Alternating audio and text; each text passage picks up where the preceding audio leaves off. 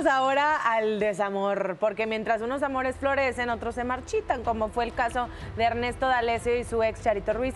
Tras rumores de infidelidad por parte de Ernesto, eh, su mamá, pues Lupita D'Alessio, salió en su defensa y así lo hizo.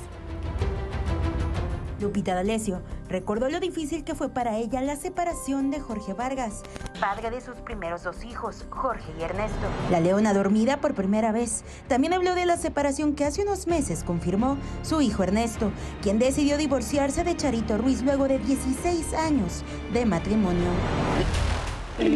¿Es mi idea o Lupita D'Alessio está revelando cosas que no se habían revelado por parte de la Pues pareja? es que ellos fueron muy políticamente correctos en- a, la, a la hora de emitir el comunicado y decir que no estaban juntos. Pero aquí Lupita pues habla de una infidelidad por parte de Ernesto. Lo da a confirma, entender, ¿no?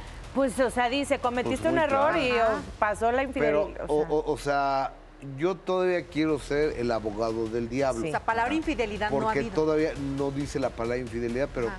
Se entiende, Se entiende. como palabra Pues infidelidad. sí, bueno, En En vámonos esa a entrevista con Alan Thatcher. El caso es que comete un error, perdón, y que lo perdonan, pero ya sabes, esta cosa es lo que dice Lupita, como que se la seguían restregando, entonces él decía, pues no es vida, ¿no? Claro, porque recordemos que primero ellos anuncian separación, Sí. Después regresan y dicen que era nada más eh, como esta separación para valorar la ausencia, para, para desde el amor reencontrarse, reconectarse, regresan y de plano ya es cuando ahora sí truenan como chicharrón y ya. Entonces, a lo mejor aquí da pie a esto de tronaron por infidelidad, regresaron para ver una segunda oportunidad Y el de tema no se plano, pues ya él ya dijo, no, pues ya va. Pero no lo trataban bien a Ernie. Por lo que dice D'Alessio, la pues. misma Lupita D'Alessio, y ella evidentemente habla como la mamá de él. Eh, No sé qué dirá la familia de, de Charito, y pues hasta ahorita no se han manifestado, no han hablado de esto.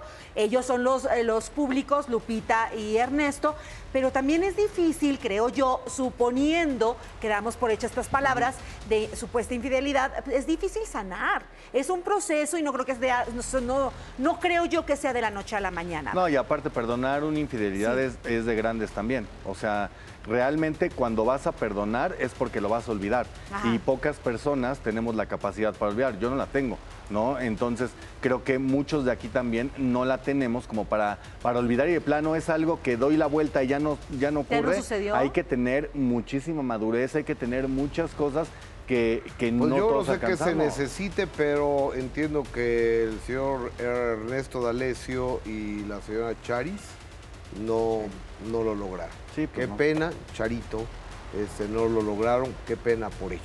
Pero bueno, porque incluso Ernie adoptó al hijo mayor Sí, de, sí. de Charito como suyo. Así es. Entonces, Sí, una familia y muchos años de por medio y seguramente pues tendrán, no creo que se vaya a quebrar la relación porque además eh, siempre fue un muy buen padre eh, con los niños este Ernesto, entonces, pero como pareja pues no, no funciona. Ernesto es un buen ser humano. Sí,